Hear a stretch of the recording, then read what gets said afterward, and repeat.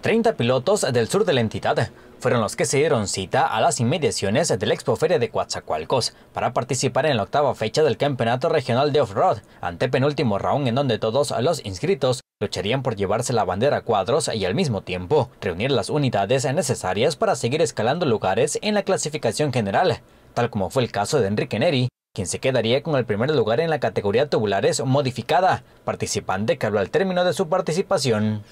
Contento, contento después de la semana estar preparando el carro y metiéndole mano, pues ahí se ve demostrado el esfuerzo que le ponemos en la semana.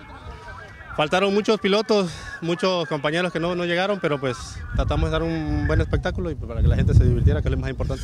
No, contento, contento. Sabes que siempre ganar un evento es, te causa felicidad, para eso venimos, tratamos de ganar y pues seguimos adelante. Vamos a tratar de seguir adelante en la próxima carrera.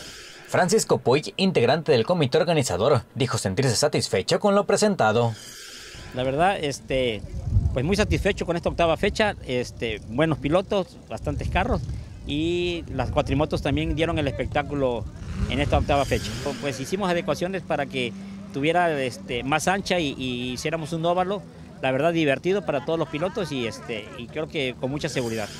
Los demás ganadores fueron en la categoría cuatrimotos Gerardo Reyes, en la baja bux Javier Pérez, en la tubulares estándar Mario Oropesa y en la libre Enrique Neri.